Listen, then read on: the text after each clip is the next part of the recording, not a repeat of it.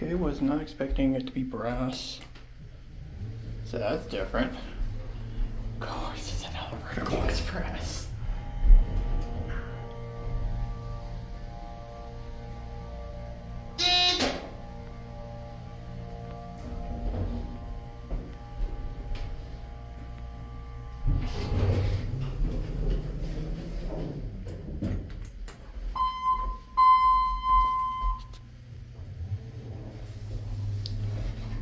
Like the brass designs, but the cap is pretty simplistic. Ooh, not so good going down. A little shaky too. Hmm.